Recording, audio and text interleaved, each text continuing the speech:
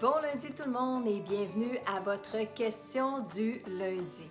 Aujourd'hui, ce que je vous demande, c'est qui aimeriez-vous retrouver lorsque vous allez arriver dans l'au-delà? Alors, quelle personne, quel être cher vous aimeriez retrouver hein, lorsque vous allez arriver dans l'au-delà, lorsque ça va être votre tour à la fin de votre mission de vie?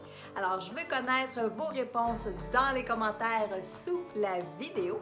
Et demain, mardi 20h, nous allons parler, lorsqu'on arrive dans l'au-delà, les liens qu'on a entre nous, mari, femme, père, mère, enfant, frère, sœur. Est-ce que ces liens-là, on les conserve une fois qu'on est rendu dans l'au-delà? Alors, demain, 20h mardi, sur Facebook et sur YouTube, c'est un rendez-vous.